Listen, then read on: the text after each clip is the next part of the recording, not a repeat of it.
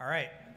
Good morning, everyone, and thank you for coming to our talk today on spending more time coding and less time debugging with the Apex debugger.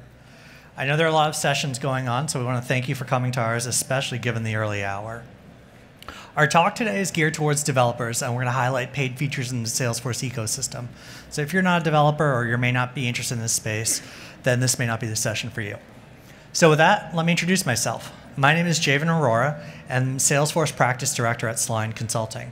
At Soliant, I'm part of an amazingly talented team of developers, architects, and consultants who specialize in Salesforce implementations and customizations. In addition to that, I'm also a Salesforce MVP and based out of Philadelphia. With me today is Christian. Hey everyone, I'm Christian. I'm a senior developer at Soliant Consulting. I've been working on the platform for the last four years. And before we get started, let's talk about our job as developers. So by show of hands, how many of us here are developers? How about non-developers? All right, so uh, as, as part of being a developer, we get to do a lot of fun stuff as writing code, learning new technologies and frameworks, and then using that to solve interesting problems. But at the same time, there's a lot of parts of our job that are not so fun, like uh, learning big new code bases, reading through bad code, and then having to, but, but what's worse, it's having to debug that bad code to try and solve some kind of a bug. So today we'll try to address uh, the debugging aspect of the not so fun part. So we'll introduce uh, a few different debugging tools that are available on the platform, and hopefully with that, you'll be able to make coding fun again. Indeed. Our goal today is to make coding fun again, and to that end, we're going to discuss some different tools on the market. So we're going to talk about Salesforce out-of-the-box debugging tools as well as paid ones in the ecosystem. From there, we're going to do a little bit of a comparison between the tools as it relates to uh, their debugging. And then from there, we're only going to do a demo of the interactive debugger. So with that, let's get started. In the ecosystem, the debugging tools come in three flavors. And don't worry, all of these slides will be posted in the chatter feed after our talk today. The first flavor that uh, debugging tools come in are the Salesforce out-of-the-box uh, tools, which are your debug logs and your dev console. And those are pretty great. The debug logs give you a ton of information about an execution as it runs, but the problem with that is that it gives you a ton of information about an execution, and sometimes it's looking for, it feels like you're looking for a needle in a haystack. So the dev console is a little bit more powerful for that from the debug logs. You can do a little bit of filtering, you can set checkpoints, but those are really good for profiling rather than debugging. So you're close, but not really there to where you need to be to find those bugs. And we want to make coding fun again. So what's left on the market? So they come in two flavors. One eh, are retrospective debuggers, which are debuggers that run after the fact. Now, these debuggers are usually parts of a, an IDE, which offer a full suite of developer tools, and debugging uh, is only one part of it in addition, there's also the Apex Interactive Debugger, which allows for real-time debugging to take place. So, what do we care about in terms of the feature set for interactive and retrospective debuggers? For one, we can set breakpoints, which will stop the execution of your code. From there, we can step through different statements and executions and look at how your call stack changes. We can see how different variables change as we step through, step over our code. And we can also see how our sObjects mutate as well. We can spit all that out into a console with, with more debugging information if needed. So that's kind of the ballpark feature set of, both, of the retrospective and interactive debuggers. So let's do a comparison of the two. Right, yeah. So now that we know a bit about the different debuggers, uh, we'll take a look at how the retrospective debuggers and interactive debuggers differ. So as you even mentioned before, there's two main uh, IDEs that provide retrospective debuggers, and that's the Welkin Suite and Illuminated Cloud. Uh, so what makes them, uh, so one of the key features of the ret retrospective debuggers is that they're able to debug code in production environments as well as sandboxes. Uh, they also work with any asynchronous code, so that's you know batchable classes, schedulables, futures. Um, but they do run into the logging limitations of the debug logs.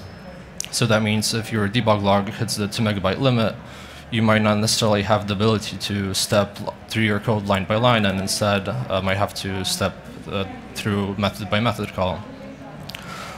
On the other hand, the interactive debugger only works in sandbox environments and cannot debug asynchronous code, so it only works for you know triggers and controllers on pages. Uh, but the main difference is that, that it works in real time, so you can step through your code to your heart's content. Um, one of the other key features is that the interactive debugger, debugger is session-based, so at a given time you can only have one active session per sandbox, uh, while on the retrospective debugger you can you know, debug as much as you want. And lastly, there's a cost, cost, a cost associated with each of these, although the interactive debugger is much more expensive in comparison. Uh, so some of the other limitations of the interactive debugger, like I mentioned before, is the number of active licenses. So in the example there, you can see that we have one license available in our org, so that means that we're able to debug in one sandbox at a time. If we were to purchase additional um, debug logs, then we could have two active debug sessions, but those sessions would have to be in different sandbox orgs. So another thing is that uh, the interactive debugger is only available in enterprise editions and above, although with the unlimited and performance editions, you do get one license out of the box. As mentioned before, you're not able to debug any of the synchronous code, such as batchables, future schedules, queuables. And lastly, any metadata, metadata changes that you perform during your debugging will essentially terminate your session, so you'll have to keep restarting it as you're making changes to the code. And with that, we're going to hand it off to Javen to do a quick demo. Thanks, Christian. So we talked a little bit about the features and limitations of the interactive debugger. Let's see it in action in a case uh, with a Visualforce controller. So suppose that as a developer, we built out a page which shows a list of all of our accounts. And on these accounts, we see a different uh, bunch of attributes, including their rating field, which is either hot, cold, or warm. And we give the, the users the ability to hide their cold accounts. Now, this is working for 99% of the time. However, a user calls us and tells us, hey, for some reason, I can still see my cold accounts. And we as developers need to figure out why. So here's what the user would see on the screen. They'd see at the top of it a button to, excuse me, a checkbox to hide their cold accounts, and then they'd see a list of their accounts.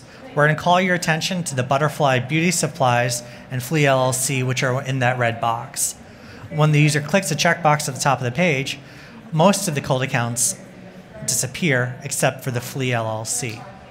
So we're going to use the debugger to find out why. Now we think that we know where this problem is happening since the method that's connected to that checkbox is this method, remove cold accounts, but we don't know exactly why this method is throwing an error. So let's take a look at this method. I want to call your attention to line 45, which is iterating through the list, line 47, which is looking for cold accounts, and then line 48, which removes a cold account from the list, and then it continues to iterate forward. From here, we're going to now initiate our debugging session. After we set the breakpoint on the previous page, we're going to go to our interactive debugger in our Force.com IDE. We're going to start a session. From there, we're going to go back to our Visualforce page, and we're going to click that checkbox. Clicking that checkbox will initiate that method, or excuse me, will execute that method, and then it'll the execution will stop at that breakpoint. Once we get to that breakpoint, we can step through the code. We can see how the call stack changes as we step through the code and step over it. So as Javen mentioned, stepping through the code uh, will allow you to see the call stack. So in here on top, you can see that selecting the checkbox called the get account table method, which then called the remove cold accounts method. And then below, you're able to see the context of all the variables at a given time. So this is our first iteration, so we can see that the i variable is zero. We can we also have a reference to a, which is an which is the element at that index. So this in this case, this is an account, and you're able to see all the fields of that account. And we can also see a reference to this, which is a custom type, and in this case, it's our uh, controller on the page. Um, so this is a little simulation of how the debugger would work. So we essentially have the list of accounts. We have you know a, which is an instance of the account and i, which is our index during the iteration. So uh, at first, our index is zero, and at that index, we have a hot account. So our code will essentially skip the call check because this is not called, and move on to the next iteration. At this point, though, we do have a cold account, so our code will end up removing it. And when it does, all the remaining elements get shifted by one. But at this point, we're at the end of the iteration one, so when we move to the next iteration, we've essentially skipped over the cold account, and that's why it remains in the list. So an easy way to fix it is to essentially decrement the index every time that we remove an element, so that way we don't skip over any consecutive uh, cold accounts. Okay, thanks for explaining that, Christian. So, what did we see today? Well, we looked a little bit about debugging in general and the different options on the platform.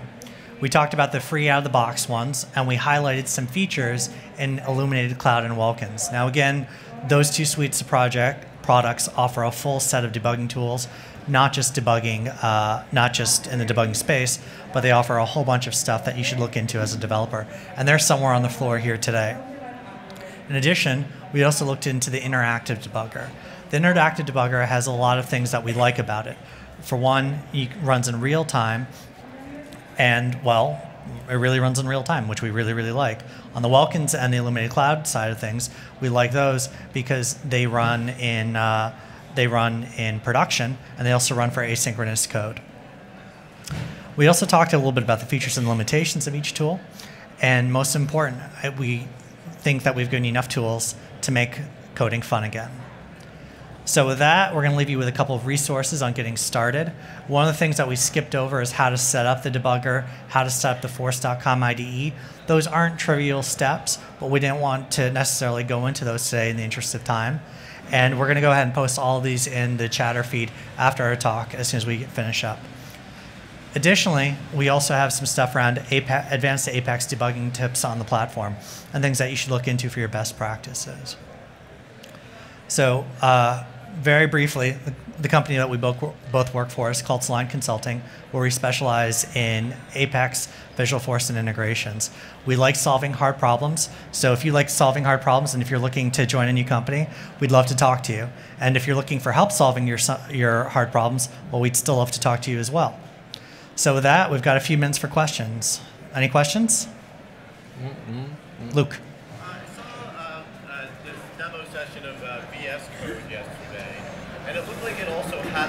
That step-through capability uh, built into it, and uh, as far as I know, it's completely free open source uh, package. Have you uh, worked with that yet at all and compared it with, uh, with and?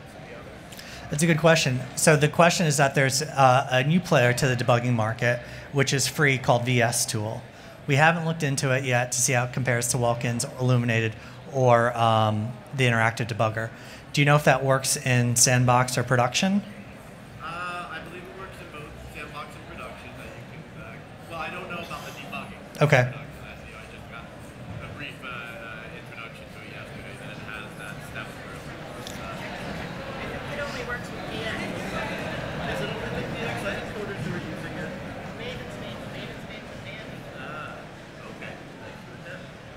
Thank you. Any other questions? All right. Well, we'll give you a few. Oh, sorry. Go ahead.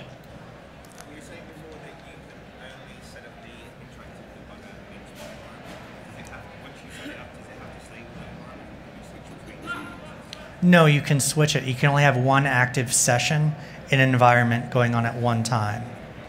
Yeah, so if you have multiple developers, you know, trying to debug at the same time, one will get an exception because you know the other's using the one license.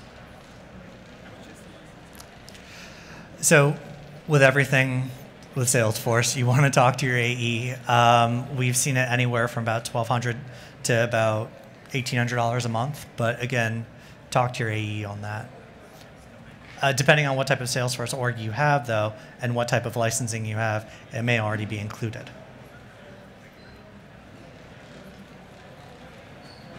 Okay. Well, thank you for coming to our talk today. We'll everyone go and get some coffee and enjoy the rest of your Dreamforce.